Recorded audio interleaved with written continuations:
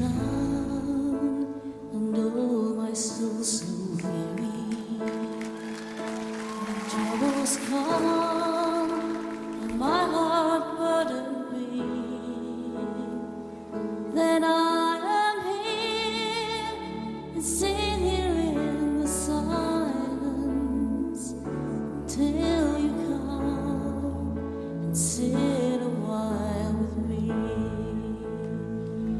Chapter 14 Envoy to Earth How my daughter, Sinhar Ninlil, persuaded me to take up my new mission.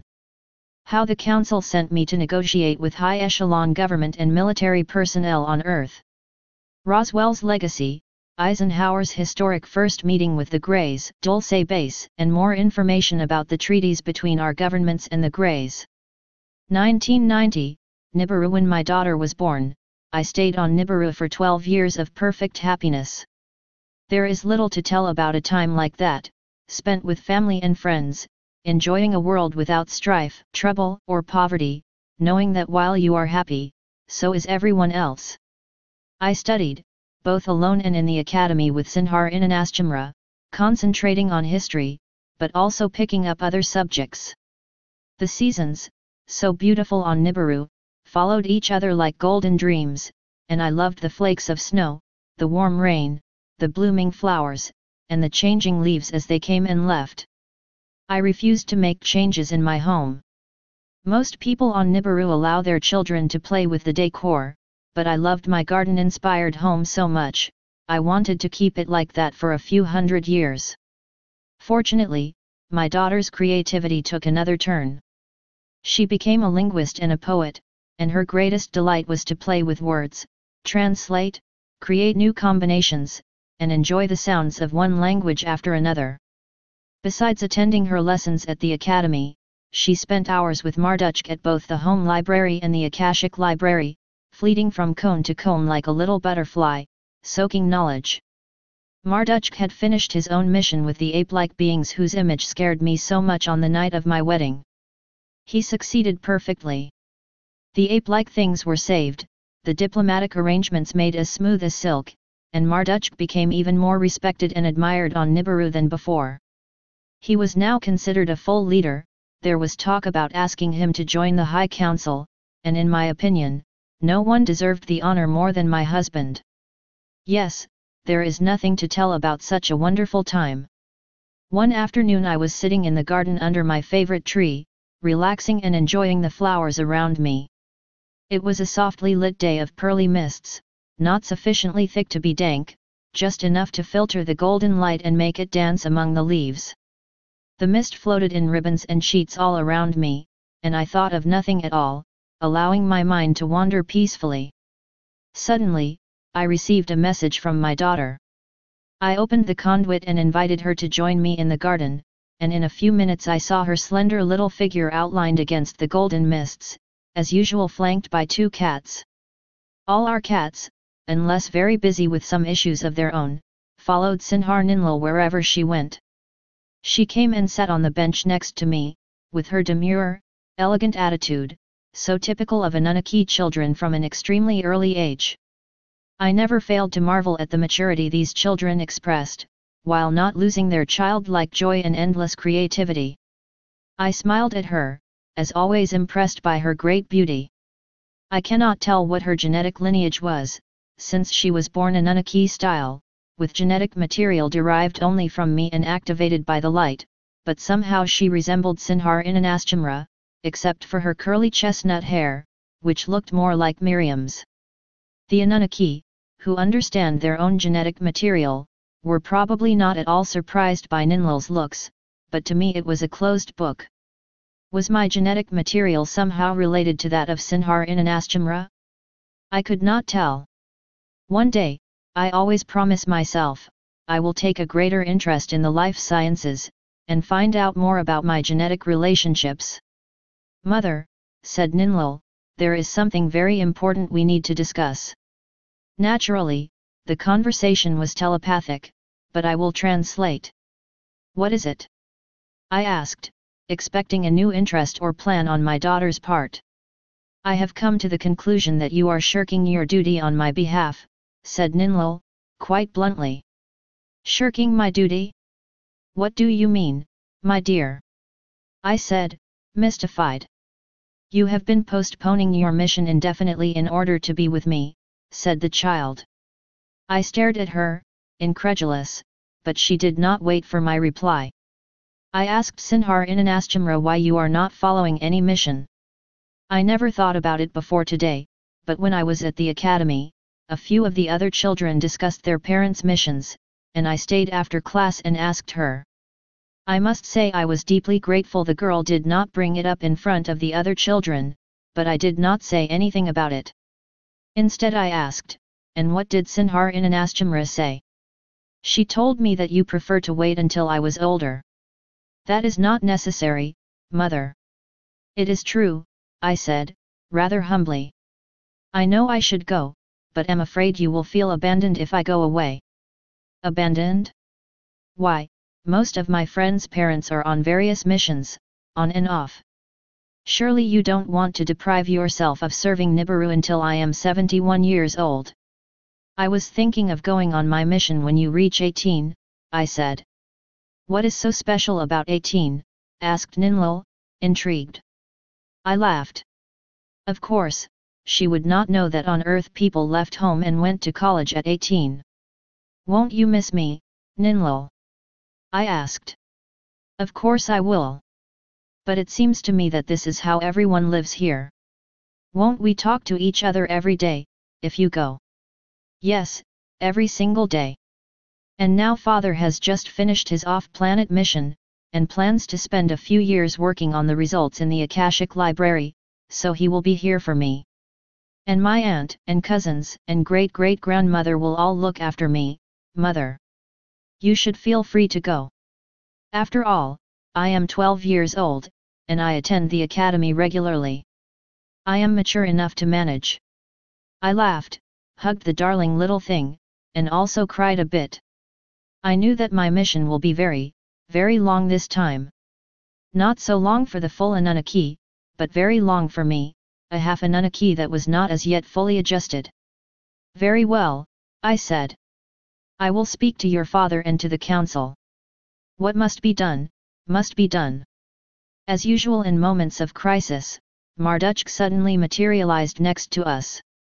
How he always knows instantly when things happen, I can't figure out, since he never attempts to read anyone's thoughts without permission, being too ethical for that.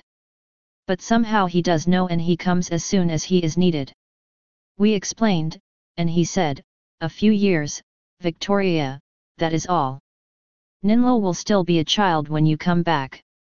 Remember, on Nibiru they are children until they are 71. I know why it is hard for you, after you had to give up your son, but this is different. She will be with me, Victoria. And we will wait for you together. So that was that, the decision was made, and I contacted the council. Well said, Sinhar Ambar Anati, said the council. I was in the usual meeting room, presenting my new plan. Yes, we are happy that you are ready to go on your mission. We want you to represent us on Earth. Are you sure this is done entirely with free will? You do not feel pressured to do it. I am doing it with complete free will, I said. I hope this was the whole truth, it was still hard to leave my daughter and Marduk for the long years on the mission. But come to think of it, the council would have caught the false tone with their conduits, if I were not certain, so I suppose I meant it wholeheartedly. We, of course, could not counter-negotiate with either species. Following your previous mission with the hybrids, we have been using your data and correlating it with material we knew about from the past. The problem, as you know, is the gray's involvement with humans, which exists on many levels. We know what is on their minds, since through the Maraya, and through the rest of our apparatus, we can read their thoughts, minds, and intentions. Unfortunately, the humans cannot do so, and the Greys have kept them in ignorance about many aspects of their conduct and agenda. To begin with, the humans believe that all the Greys come from Zeta Reticuli. That is not entirely true. Yes, Zeta Reticuli is their original planet, but they have lived on Earth, mostly underwater, for thousands of years. In their minds, the Greys own the Earth, and the humans are interlopers. Another thing the humans don't understand is the degree of viciousness of the Greys' agenda. Therefore, they were willing to negotiate with the Greys, more than once. The Greys, as we know only too well, are too treacherous to deal with anyway. They pretend to obey us, out of fear, but go on with whatever they want behind our backs, knowing we would not annihilate them. We cannot eliminate them, ethically, since they are not our creation, we can only eliminate races we have created. That is the policy. As for the humans, we would not want to negotiate with the humans like the Greys did, because since when does a creator negotiate with his creations? It is not seemly. And yet, we knew for many years that there are reasons for serious alarm. We became very concerned because the abduction of humans, mutilation of animals, and the implants in human bodies were already severely contaminating Earth. We did not know how far it went until you gave us your report, after your mission with the hybrids. But now we know that their actions could lead to the destruction of the planet. Even supposing Earth is destroyed, how will it affect the Anunnaki? I asked. It is a great distance from Nibiru, after all. If the Earth is destroyed by the Greys and their experiments, it will affect the total solar system, and consequently, have major implications on other systems, including ours. Everything is connected, as you know, through all that is. The humans have a saying which applies very well, no man is an island. We could paraphrase it for star systems, and be entirely correct. We wanted to postpone our return to Earth for dealing with this situation, and follow the correct planetary time when Nibiru is closer to Earth's location, but this is no longer practical. If Earth, or any planet in the Milky Way is destroyed, it will jeopardize many of our projects, and threaten our security. We needed to explore all the issues. I imagine there were other envoys, before me. I asked. Yes, we tried, since 1947. That was the year when a spaceship crashed on Earth, we will soon tell you more about the crash. But even before that, we had contacted humans of great distinction in the fields of art, literature, music, science, etc., and we guided them in their research and creations. From such people we drew a few envoys. We thought they could influence and correct the psyche and code of ethics of humanity, since we had no intention of achieving our success through the low practices of exchange of technology in return for abductions, of course. But we failed in these attempts. The humans in control could not be influenced by the goodness of our delegates, and worse, to our chagrin, many of those illustrious people were murdered. Mahatma Gandhi, to give you one example, was killed for his attempts. There were many others. And so we think that sending you as our envoy would be the right thing. You are both a full Anunnaki by genetic makeup, and a human by upbringing. You will be our best chance to warn the humans and change their ways, perhaps you will be our last chance. I understand, I said, and I will do my best. You were going to tell me about the events of 1947. Yes, you must have heard of the Roswell incident, said the council. In 1947, a Greys spacecraft crashed in Roswell. Two Greys died from the impact, but one survived. The Americans held him underground at Andrew Air Force Base. Strangely enough, a sort of friendship was developed between the Grey and two American civilian scientists, something that we still don't understand, but there it was. I agree, the Greys don't usually show any emotion, I said. They are much like a hive mentality, insects, right, and at the same time, the Americans were only interested in acquiring advanced military weapon systems, not in a friendship with an alien. But somehow they became friends. At that time, the American military kept everything under cover and did not inform even the Congress or the President of the United States. One general actually said, civilians and politicians come and go. But we, the military, that is our career. Therefore, they should not be informed and if the Congress will not be told, consequently the American public should not be told either. That was the policy that was adopted on a regular basis ever since. This is frightening, I said. The military should not control the decision. Indeed they should not. Look at the Maurya, Sinhar Ambar Anati.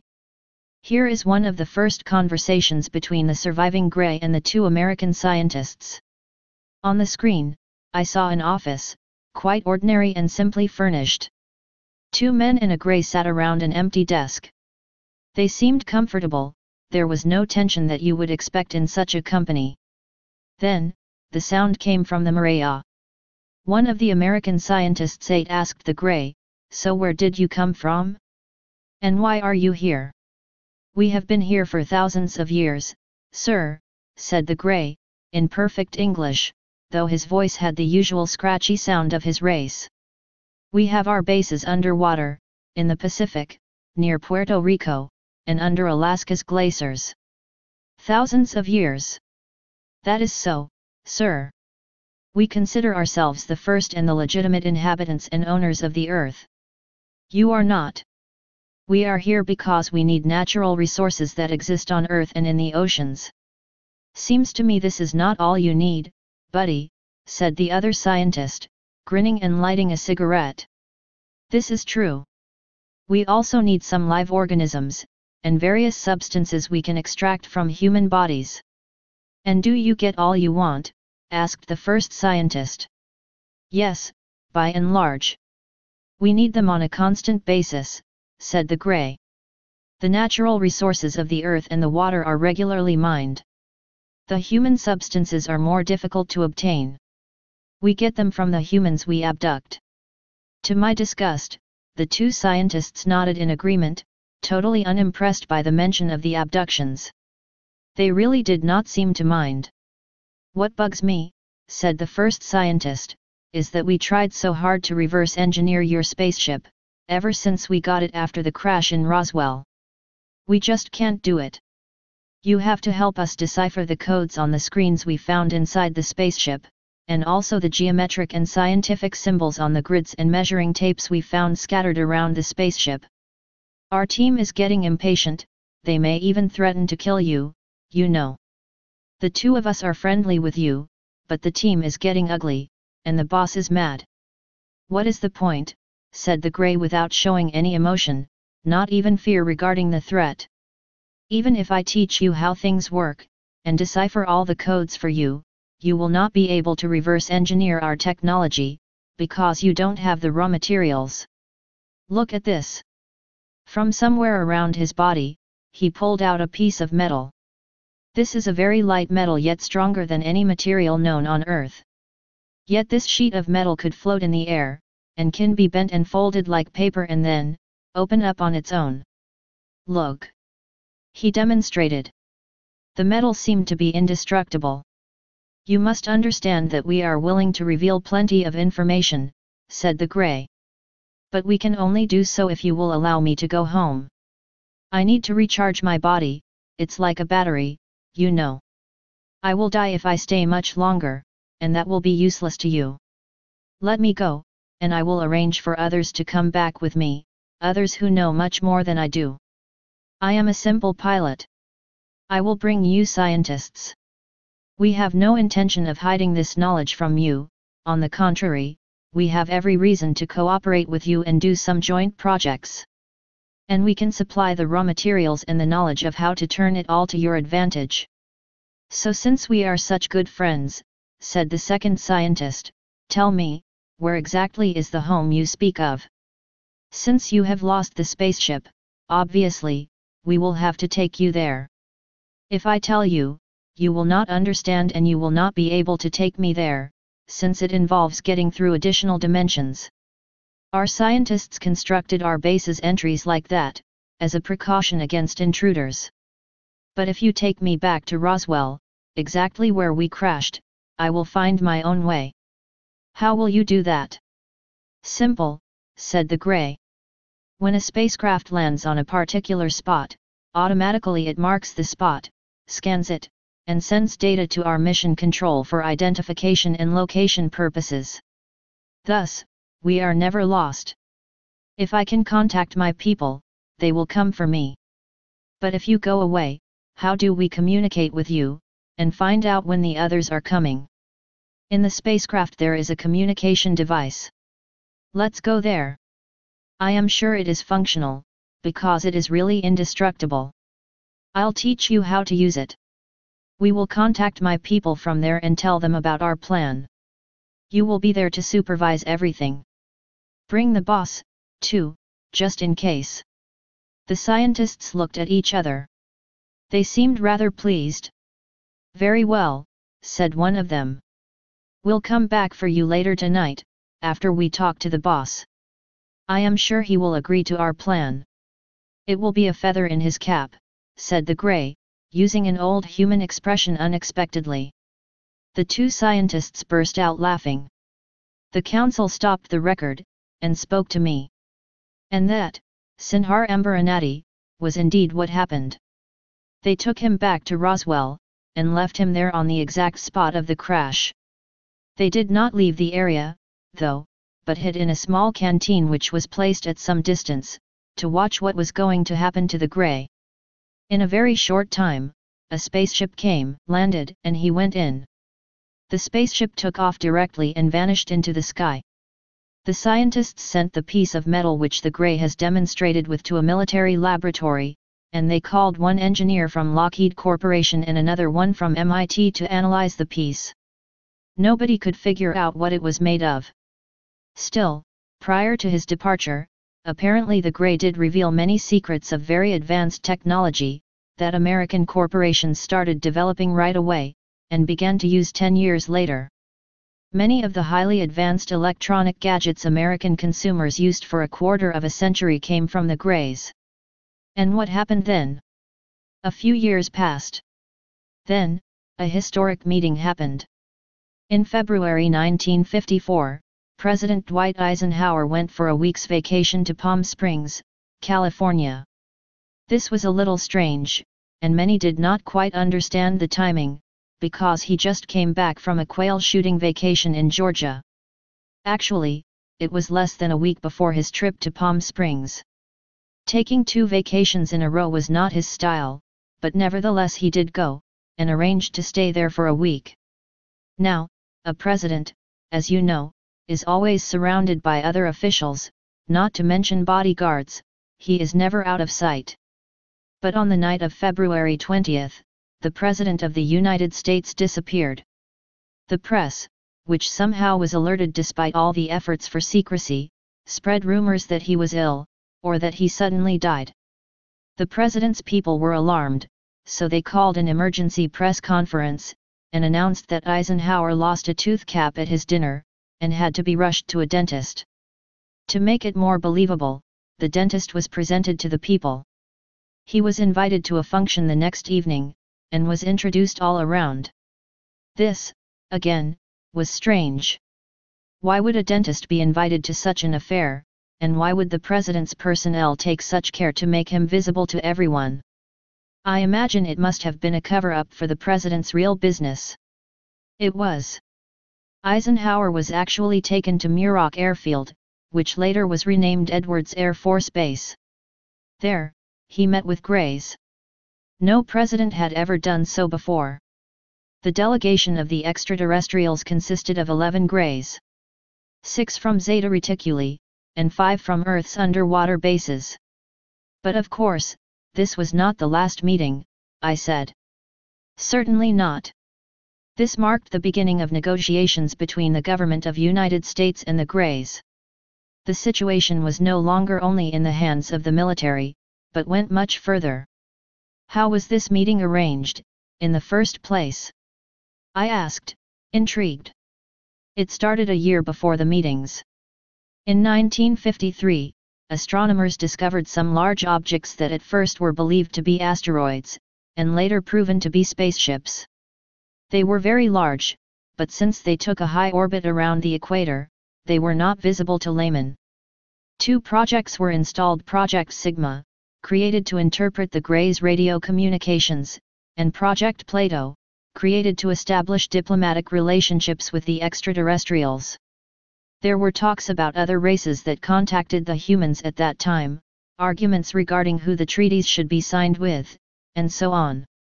As a matter of fact, the Nordics, a benevolent race, tried to prevent the humans from accepting these evil treaties, and wanted them to dismantle their nuclear weapons and abandon their road to self-destruction, but they were not listened to. The Nordics wanted the humans to go on a path of spiritual growth, but what the humans wanted was military secrets. Probably because they are so badly contaminated, they would not even consider a peaceful offer, I said, rather sadly. Precisely. And the treaty with the Greys was signed. It basically said that the Greys and the humans will not interfere with each other's affairs. The humans will keep their presence a secret, and they will be allowed to experiment on cows and on a limited number of human abductees. The abductees' names would be reported to the US government for control, they were not to be harmed, and they should be returned to their homes after the memory of the events was erased. But, as we know, they did not keep the promise, and extended their experiments without telling the US government, I said. True. They could not be trusted. But let's face it, the humans were treacherous as well. For example, there was the issue of the Grey that had arranged all that. He came back with the delegation of 1954, and agreed to stay on Earth as a hostage of goodwill, on condition that he would be allowed freedom to go back and forth to recharge himself. This lasted for a year, but soon enough the Americans, having learned a little about the vicious plans of the Greys and the excessive number of abductions that was not agreed upon, turned back on their word to the hostage and locked him up for three years. As a result, he developed extreme claustrophobia that eventually killed him. They won't let him recharge himself. Frankly, I said, the humans are no better than the Greys. There are still good humans out there, those who are not contaminated, said the council. But they usually don't go into government business. That is why we try to develop and keep some good, clean ones, like your son, the senator. He will accomplish much good as the years go by. He is already attempting to do quite a lot. Well, I said, not wishing to discuss the permanently painful subject of my son, I suppose I am ready. I will prepare to go in a few days. Farewell, Sinhar Ambar Anati, said the council. We shall keep close contact with you, and hear your reports regularly. They bowed, smiled, and vanished. It was hard to leave, but I will not go into the heartbreak of the goodbyes, and concentrate on the positive side. I was taken to Earth, and went to a hotel in New York. I had with me a special device, an ingenious thing that had on it the special telephone numbers of top members of the National Security Agency, or NSA as everyone refers to them. Only two or three people in the world have these numbers, not even the President of the United States has access to them. They are used only for matters related to extraterrestrial reverse engineering. The device makes sure the phones will be promptly answered, and when I called, I gave them data that they recognized as their own extraterrestrial material. They were shocked, but nevertheless they agreed to meet with me. I suppose they realized they had no choice. Rather politely, they offered to fly me to Washington, D.C., where they wanted to have the meeting, but I informed them that it was not necessary. It was easy for me to simply materialize in D.C., and I did not want them to know my current address, if this could be prevented. They directed me to come to the Four Seasons Hotel in Georgetown, where they were to meet me at the lobby. I was instructed to say, if questioned at the hotel, that I was heading for the suite that was reserved under the name of a Middle Eastern gentleman who owned a limousine service in DC, and had often used the hotel for similar purposes. I materialized a little distance away from the hotel, and walked there on M Street. Three members of the NSA were waiting for me, and they took me to the reserved suite, where 15 more people were sitting around a huge table. They rose and greeted me politely, but I could clearly see the suspicion in their eyes and in their thoughts. I noticed that the shades of all the windows were closed, and I saw no telephones. However, they all had gadgets in their hands which I recognized immediately. They were navigation devices, which at the time were known only to extraterrestrials, not to any humans. For a moment I assumed that they got it from the Greys, for communication purposes, and then noticed that quite a few of these people were really greys who had shapeshifted to resemble humans. I can easily identify them, because even while shapeshifting, the greys cannot turn their heads independently of their body. They have to turn the entire body if they wish to look to the sides. As they turn, their eyes cannot follow their heads quickly, like humans' eyes, but they have to refocus. All that is done rather discreetly, but after living with the hybrids and the greys, I could not miss that. In addition, humans usually fidget, move around. The greys never do. When seated, they sit quietly, immobile. When standing, they are straight and immobile as well. In addition to that, I had more instructions from Nibiru as to how to recognize all shapeshifters, which I cannot explain because it involves using the conduit. One of the greys at the end of the table was tapping nervously on the edge of the table with something that looked like a pen, and from time to time pointed it towards me. I recognized this gadget as a scanning device, such as we use on Nibiru. It was not held by any of the humans, because this fiber-slash-scanning device was not known to the human scientific community until much later, 2006 or 2007. I supposed the Greys kept it to themselves for a while. I did my best to ignore the fact that half the people there were Greys, and proceeded as if I had no idea and was talking only to humans. I had nothing to fear, really, since I could annihilate the Greys with one thought, and I decided that discretion was the best approach. The Greys maintained their pretense throughout the meeting, and I said nothing at all. Come to think of it, I was used to the treachery of the Greys, but I have to admit I was a little distressed by the humans' duplicity and stupidity. Did they really think I won't recognize the Greys? I explained to them who I was, telling the absolute truth, and giving my name as Ambar Anati. Naturally they did not believe me. To help persuade them, I first of all projected certain images on one of the walls. These were holographic pictures that showed them the entire sequence of the Roswell crash, where the Grey was held, and data pertaining to their research. They still were not persuaded that I was who I claimed to be, but the fact that the projections were done without any equipment made them uneasy and less sure of themselves they were at least ready to listen. I told them quite a lot about the Greys and their agenda. By now, I said, you must be aware that they do not tell the truth, that they are not to be trusted. Business is business, said one of them.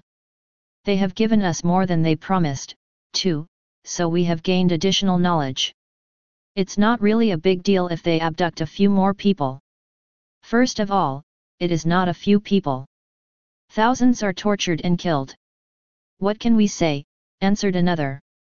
Sometimes harsh measures cannot be avoided. I did my best to hide my disgust about such a statement, and went on.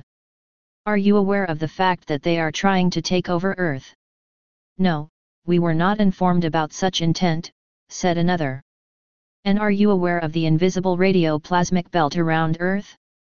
They want to isolate Earth from the universe. This belt can expand up or down, and can affect missiles, rockets, or airplanes, and blow them up. It explains what has happened to various airplanes in Vietnam, and also to human spacecrafts and space missions. We don't understand what you want us to do, said one of them. I want you to trust the Anunnaki. They intend to help you get rid of the Greys. This is really very simple. Either you go with the Anunnaki, in which case much can be done, or you stay with the Greys. If you choose to stay with the Greys, the Anunnaki will return and clean up the earth, in a way that you will not like. They are perfectly capable of annihilating the entire population if the atrocities do not stop. Are you threatening us? asked one of them. The rest stared at me, impassive. I would not call it a threat, I said. I would call it a fair warning. Remember, the Anunnaki are stronger than both humans and Greys. They did not have to send me, they could do what they wanted without warning. But they prefer to save as many humans as possible. How do we know how strong the Anunnaki really are, said one of them. After all, they have been away for so long. They don't seem to have much interest in us. Let me show you a small example of what the Anunnaki can do, I said. In a blink, I multiplied myself into 30 Victorias, we arranged ourselves around the table, behind the sitting people. They jumped off their seats, shocked. It's a trick, cried some of them. Grab her. Please, do grab, I said. Touch all 30 of me, and see that this is not an idle trick. We can become billions, if we wish. Hesitantly, they touched some of the multiples. A few multiples offered to shake hands, which the humans did, trembling. They could not deny the multiples' tangible presence. I contracted myself into one person again, and sat down. Please, I said. I have no desire to frighten you. Sit down and let's be reasonable. Truth is, Mizanati, said one of them, the Greys are an immediate threat. They are right here and we cannot control them. The Anunnaki are far away. But still, we can see that you wish to help us, and it should be considered. What would you want us to do? I want to start by going into some of the more important places where humans and Greys interact, I said. I need much data to deliver to the High Council of Nibiru and receive instructions before I meet the President of the United States, among others. I think the best thing to do is to go to Dulce, in New Mexico. It is the most important joint laboratory of the Greys and the U.S. government, said one of them. The others nodded in agreement. There are bases in Nevada, Arizona, and Colorado, among others, but Dulce is the most important. Very well. Would you assign one of the members to come with me, act as my escort? I asked. Yes, Colonel X will go with you. The colonel rose. He seemed to be a respectable, middle-aged man. In reality, he was certainly a grey. As before, I pretended not to notice. Would you like me to materialize you there? I asked. No, I think it's best if we go in a more traditional way, said the colonel. We don't want to startle the people in Dulce too much. It's best if they don't panic. I agreed and we decided to go the next day, in a military plane. On the plane, the colonel, who had become reasonably friendly, gave me some information about Dulce. It's all underground, you know he said. People know about seven layers, but in truth, there are nine I am aware of, perhaps more I don't even know about. It's really a very large compound. Where exactly is it? I asked. It lies under Archuleta Mesa on the Jicarilla Apache Indian Reservation, near the town of Dulce. Very easy to keep it a secret, the way it is constructed, he said. And they are very careful about security. You will see. We finally landed at the small airfield.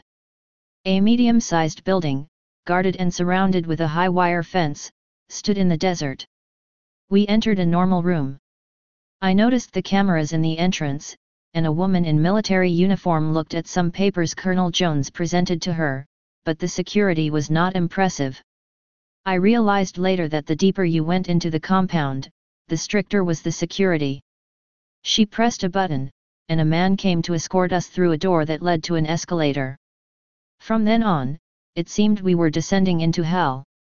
Everything was clean, shiny, and metallic, much like I remembered from my unpleasant stay with the hybrids. No matter where you looked, you saw a security camera. There were side doors everywhere. Apparently, many secret exits and entrances existed, and each was loaded with security features, some visible, others hidden. On the first level we were joined by a grey.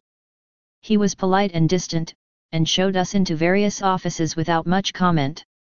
The offices were normal, military, and stark. Maps hung on walls, with many pushpins in various colors stuck into them.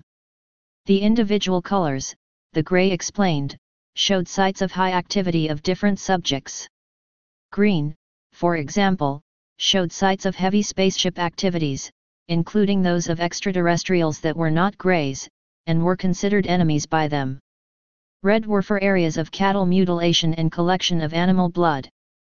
Blue indicated underground activities and caverns. I do not remember all the other colors and sites, but the arrangement was quite elaborate. The offices were monitored constantly by humans, who wore military-like jumpsuits. Each carried a gun, quite visibly. All the uniforms were decorated with the symbol of the triangle, much like the Phoenician symbol. They had various letters in each triangle, supposedly signifying rank, but I never found out if this was true. When they saw that we were accompanied by the grey, they simply ignored us. The second level was exactly the same, full of offices, but after the first level, which we reached by the escalator, we used only elevators. I was told that the elevators had no cables in them, and were controlled magnetically, using extraterrestrial technology. Magnetism also supplied light, which came from flat, circular objects, and there were no regular light bulbs in sight. The third level was devoted to hospital-like environment, used for impregnation of female humans. I was not allowed into the surgical ward itself, but the Grey explained that the experimenters removed the fetus, and placed it for speeded up growth in an incubator, creating hybrids. In this facility, more than in the one I visited during my previous time with the hybrids, they tended to experiment with genetic manipulation during the very early time in the incubator. The results were quite monstrous sometimes. Through windows in the walls, I saw cribs, or really a sort of cages, with some of the results. Deformed humans were the norm extra arms and legs, small or very large heads, and creatures that did not really look humans. What do you do with these? I asked. We harvest certain tissues and then kill them, said the Grey. We learn quite a lot from them about genetics. We apply them for further research. On level 4, there were genetic labs that created half human slash half animals. Their shapes, as I saw them sitting in their cages, were so horrific, that I had to avert my eyes. Some of them had a reptilian look, some had fur, and others looked like gargoyles. Do you harvest tissues here too? I asked. Yes, we combine this research with the materials we get from the cows. The research is extremely interesting and useful, said the Grey. The extraterrestrials had their living quarters on levels 5, 6, and 7. These looked much like military barracks, as we passed the corridors and peeked into the rooms, but I saw no reason to enter. I asked the Grey if it was true that there were additional levels. This did not seem to faze him at all, and he said, in his perfect English that seemed so unpleasant, coupled with his scratchy alien voice, that yes, of course. Apparently, they took advantage of the huge natural caverns under Dulce, and created additional levels. They carried even more security there, and the Grey said that if we wanted to go there, he would have to call two more Greys to accompany us, and we would need to use an eye identification system. These details were quickly accomplished, and we used a side elevator to the eighth level. Here they experimented with manipulation of the nervous system by various means. It allowed them to cause disease and even death from a distance. I am afraid you cannot enter the place where the subjects are kept, said the Grey. These subjects are mostly insane, dangerous, and very susceptible to changes in their routine. If we enter, we might destroy some of the experiments. Level 9, where we were invited to enter, contained storage of fully grown creatures and tissues in vats, all dead. This included tanks full of embryos in various stages of development, waiting to be used. The place was kept as clean as the rest of the compound, but the smell of the chemicals was overwhelming.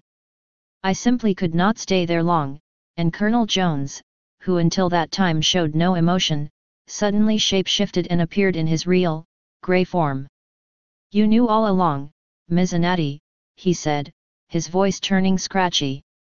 I never thought we could trick you, and would have preferred to appear in my true form in the first place, but my group insisted. It does not signify, I said. Of course I knew.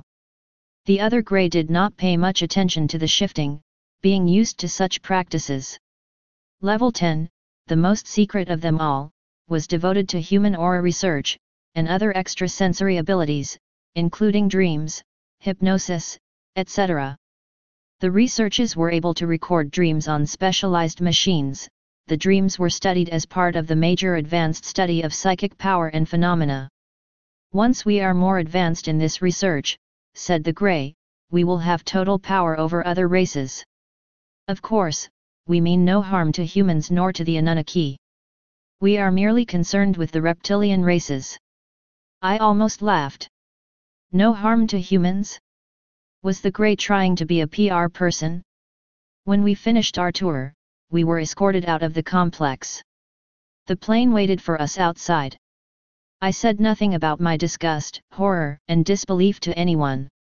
But I have seen enough, and I knew that this was just the tip of the iceberg. Such treaties must have been entered into by more than the United States government. The Greys have reached almost total control over humanity. After materializing myself back in New York, I knew I will always be watched, but I also knew how to handle it and avoid my watchers. I needed time. First, I spent a few days just digesting what I saw. I made myself invisible, and left the hotel for hours of exploration. I walked the streets, took the subway, went on buses, visited museums, stores, offices, hospitals, senior citizens' homes, schools, and more. Everywhere I went I saw greys in shape-shifted form. Obviously, they did not only infiltrate the military, but spread out much more. They flooded the city. Some worked in offices, some in restaurants, obviously doing it as part of their agenda. They were nurses, teachers, officials, sanitation engineers. They were probably doing the same in other cities, urban areas, towns, and even other countries. For me, as I mentioned before, it is easy to recognize a shapeshifter. I was taught how to do it by the best teachers on Nibiru. But a human cannot do so very easily. Your doctor could be a grey. The nice lady in the department store could be one. The teacher of your young child could be one. In addition, I saw many hybrids. Vicious, unfeeling, and manipulative, they flocked mostly into the entertainment industry, the financial world, and the advertising field. It seemed they liked glamour. The Greys and their slaves, the hybrids, have invaded the world. After a few days I got to work. Using the same device that had gotten me the telephone numbers of the NSA members, I spent my time contacting and negotiating with hundreds of people from a number of governments on Earth. I also visited other laboratories, bases, and Air Force fields. Each time I negotiated, I encountered the same roadblocks.